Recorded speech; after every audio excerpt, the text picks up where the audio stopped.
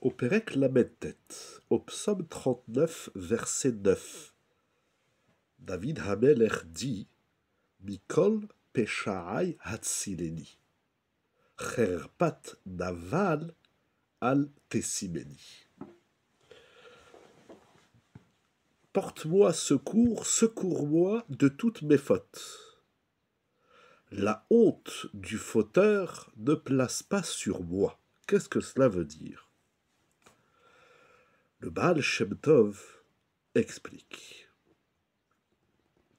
Nous savons que si l'homme porte une condamnation sur le rachat, au point de se dire il convient qu'un tel soit châtié puisqu'il commet des fautes. Donc on se permet de, si on peut ainsi dire, réclamer la punition du rachat. On s'étonne même parfois comment un tel qui est impie n'est pas puni, ne reçoit pas le châtiment d'Hachem. Dit le Baal Shem Tov, ce que tu penses que l'autre doit recevoir, c'est-à-dire que le jugement que tu portes sur l'autre, c'est ce qui va t'arriver. Ah, mais pourtant, moi je ne commets pas la faute de l'autre. Ok, c'est pas bien de prononcer un jugement sur l'autre, mais pourquoi je vais subir ce que je j'estime qu'il doit recevoir?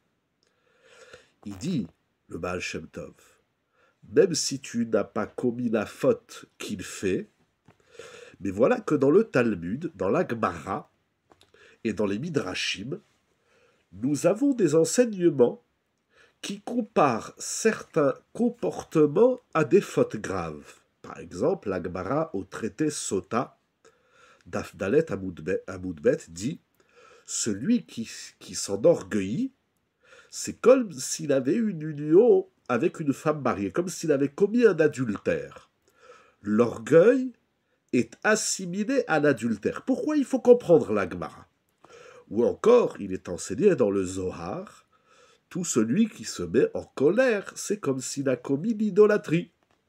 Là aussi, il faut comprendre quel est le rapport entre la colère et l'idolâtrie. Mais il existe des comportements assimilés à des fautes graves tel l'orgueil assimilé à l'adultère et la colère assimilée à l'idolâtrie. Et il est possible que ce comportement soit pire que la faute. Lorsqu'on dit Habit Gae Ke Ba Aleshetish, celui qui s'enorgueillit, c'est comme si commet un adultère. C'est quoi C'est comme si? Est-ce que c'est moindre ou est-ce que c'est plus? De même la colère, tout celui qui se met en colère, c'est comme s'il commet l'idolâtrie.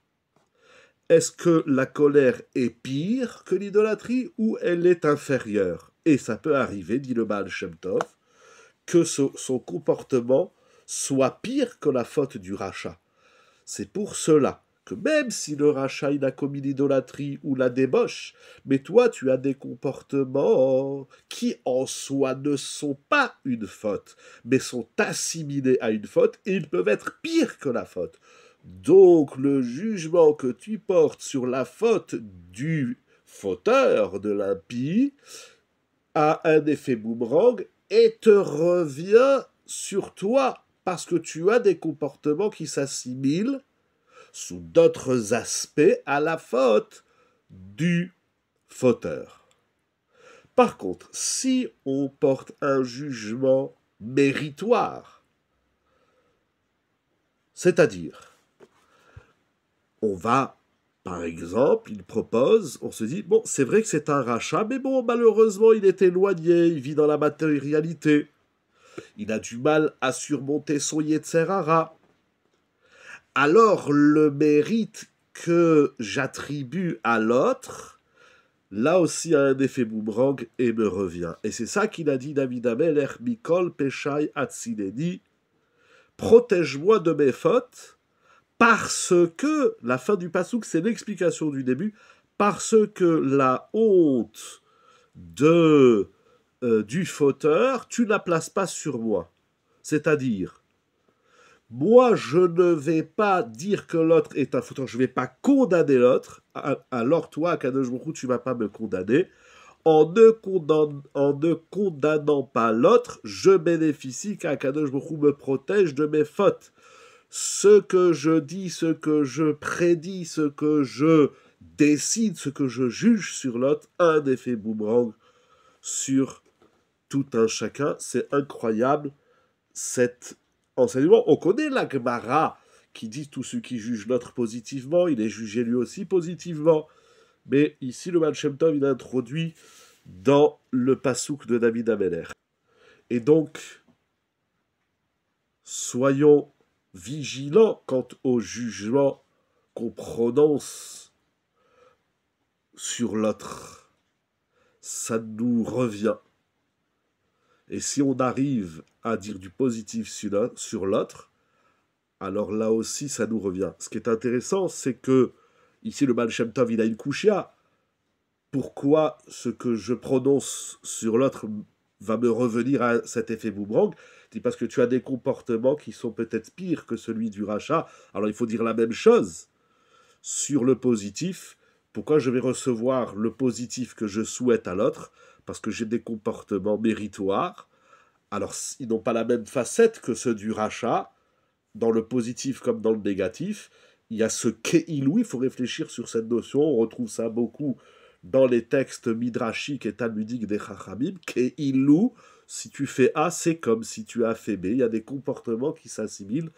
C'est une étude profonde et intéressante que le mérite de David Ameler et ici du commentaire du Baal Shem Tov rejaillissent sur tout Israël.